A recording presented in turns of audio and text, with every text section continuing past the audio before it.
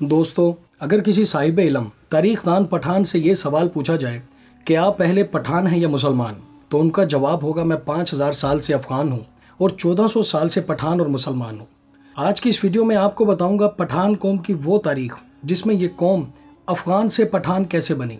इस कौम को यहूदी अपना गुमशुदा कबीला क्यों कहते हैं? इस कौम का नाम अफ़गान से पठान और पठान से पख्तून कैसे हुआ? ये किस पैगंबर और नबी की औलाद है? बाज़ मौरखीन पठान को कौमियत से बने इसराइल क्यों कहते हैं? तो क्या पठान पहले यहूदी थे? अगर यहूदी थे तो मुसलमान कैसे हुए? पठानों की पश्तो ज़बान को जिनों की ज़बान क्यों कहा जाता है? दोस्तों, आज की इस वीडियो में जानेंगे इन चंद सवालात के जवाब और पठान कौम की वो दिलचस्प तारीख जो शायद आज से पहले आप नहीं जानते होंगे। तो इस वीडियो में हमारे साथ आखिर तक जुड़े रहिएगा। लेकिन वीडियो में आगे बढ़ने से पहले, आपसे एक गुजारिश है कि आप हमारे यूट्यूब चैनल टॉक टाइम को सब्सक्राइब कर लें और बेल नोटिफिकेशन को ऑन कर लें, ताकि आपको ऐसी ही इंटरेस्टिंग और इन्फॉर्मेटिव वीडियोस की नोटिफिकेशन मिलती रहे। दोस्तों, क्या आप जानते हैं कि दर हकीकत पठान को खान नहीं, अफगान कहते हैं? हज़रत याकूब सलाम के बेटे हज़रत यूसुफ सलाम के भाई बिनियामीन की औलाद में से हैं, जिनकी परवरिश हज़रत दाऊद सलाम ने की थी।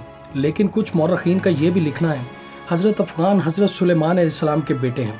हज़रत सुलेमान सलाम को अल्लाह ताला ने पूरी दुनिया की बादशाहत अता की थी।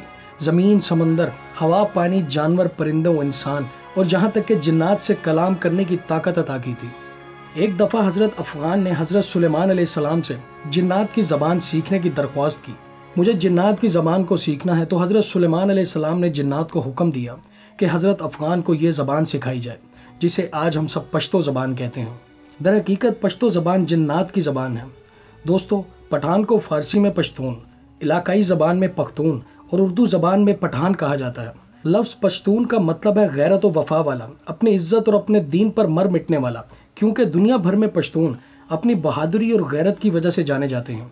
और इन्हीं पश्तूनों ने क्या में पाकिस्तान में भी भरपूर हिस्सा लिया था। बाज़ अवत पठानों और अफ़गानों के दरमियान ये फ़र्क भी तस्वूर किया जाता है कि ये दो अलग कौमें हैं, लेकिन ये सब पठान ही कहलाते हैं। कुछ तारीख दान इस बात का दावा भी करते हैं कि पठान लोग अर्जीनिया के मकामी थे। अर्जीनिया के लोगों का कहना है कि अल्बानिया के ओगान कहलाए जाने वाले लोग जो बाद में अफगान कहलाए जाने लगे और अर्जीनिया से खुरासान और हिंदुस्तान को चल पड़े, जिसके बाद ये लोग इस खत्े में आकर आबाद हो गए।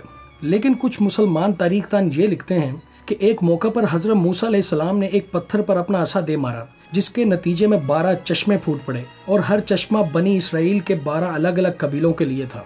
लेकिन इसराइल के तारीख दान रब्बियों के मुताबिक पश्तून और पठान यहूदियों की नस्ल हैं। और इनका ताल्लुक बनी इसराइल के गुमशुदा कबाइल से है। इस वक्त दुनिया में मौजूद तमाम यहूदियों का ताल्लुक हज़रत मूसा सलाम के ज़माने के उन दो कबीलों से है और बाकी दस कबीले अपना मज़हब तब्दील कर चुके हैं, या इनका कोई पता ही मालूम नहीं हो रहा। इसराइल में बारह कबाइल हुआ करते थे, जिन्हें इसराइल के इज्तमाही नाम से पुकारा जाता था। सिर्फ़ बकिया दो कबीले आज के यहूदी हैं जो तौरैत पर अमल करते हैं, जबकि बाकी दस कबाइल तौरैत को तस्लीम नहीं करते, जो कि बनी इसराइल का हिस्सा थे। जब बाबुल के फरमा नवाब बख्त नसर, जो कि आज का मौजूदा यरूशलम, फ़लस्तीन है, पर कब्जा करके उस वक्त इसराइली बादशाह और यहूदियों की ईंट से ईंट बजा दी थी तो इसराइल के बहुत से कबीले भाग कर फारस, यानी ईरान के पहाड़ों और यहाँ से दीगर खितों में फैल गए थे, और आहिस्ता आहिस्ता ईरान, अफ़गानिस्तान और फिर पाकिस्तान में फैल गए। हज़ारों सालों से लिखे जाने वाली दास्तानों और तारीख के मुताबिक, ईरान, अफ़गानिस्तान और पाकिस्तान के पश्तून कबाइल को इन यहूदियों की नस्ल समझा जाता है। बजाते खुद बहुत से अफगान लोगों का कहना है कि हमारे अबाव अजदाद का ताल्लुक बनी इसराइल से था। अफ़गानिस्तान के आखिरी बादशाह ज़ाहिर शाह मरहूम अपनी हयात में इकरार करते रहे थे कि इनका ताल्लुक बनी इसराइल के बनियामीन कबीले से था। और इस तरह हमें तारीख से ये पता चलता है कि पाकिस्तान और अफ़गानिस्तान की निसफ आबादी कौमियत से बनी इसराइल हैं।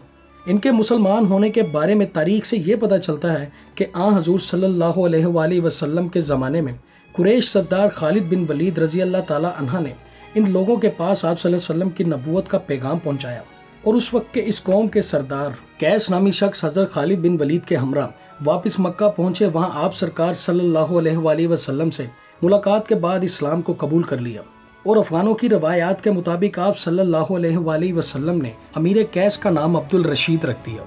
कुछ तारीख दानों का ये भी मानना है कि पठान आरियाई या यूनानी नस्ल से हैं। और बास तारीख दान के नज़दीक ये कैस बिन अब्दुल रशीद की औलाद है, जो कि खुद को कैस अब्दुल रशीद की औलाद समझने वाले लोगों का। ये मानना है कि मक्का में क़याम के दौरान हज़रत खालिद बिन वलीद ने अपनी साहिबजादी इनके निकाह में दे दी थी, जिन्हें वो अपने हमरा लेकर वापस वतन आ गए। इस तरह कैस अब्दुल रशीद की औलाद पठान कहलाती है, जबकि एक नज़रिया ये भी मौजूद है कि खुद कैस अब्दुल रशीद का ताल्लुक बनी इसराइल के बादशाह तालूत की सैंतीसवीं नस्ल से था। इसलिए अफगानों और पठानों के कई रवायात और औसाफ अरबों और बनी इसराइल के लोगों से मिलते जुलते हैं। अरब कौमें बहुत मेहमान नवाज़ और बहादुर होने के साथ साथ दूसरी कौमों से जल्दी मुतासर नहीं होती थी। हैरत की बात यह है कि यही चंद औसाफ अफगान और पठानों में पाए जाते हैं, जबकि इनकी बेशतर चीज़ें यहूदियों से भी मिलती जुलती हैं और ख़ुद को बहुत बेहतरीन कौम भी तस्वुर करते हैं। मजहबी तौर पर काफ़ी सख्त हैं और कई रस्म व रवाज एक दूसरे के साथ मुताबकत रखते हैं। इस कौम की गैरत की बुलंदी और अजमत का निशान ये है कि यहूदी नस्ल होते भी नबी आखिरजमा आप सल्लल्लाहु अलैहि वसल्लम पर ईमान ले आए और सबसे बड़ी शर्फ की बात यह है कि ये हजूर सल्लल्लाहु अलैहि वसल्लम के सिपाही भी थे और हज़रत मूसा सलाम के हवारी भी। तो दोस्तों, उम्मीद है आज की ये वीडियो आपको पसंद आई होगी। वीडियो पसंद आने की सूरत में हमारे चैनल टॉक टाइम को सब्सक्राइब कर दें और वीडियो को लाइक कर दें और हमें कमेंट सेक्शन में अपनी राय से ज़रूर आगाह कीजिएगा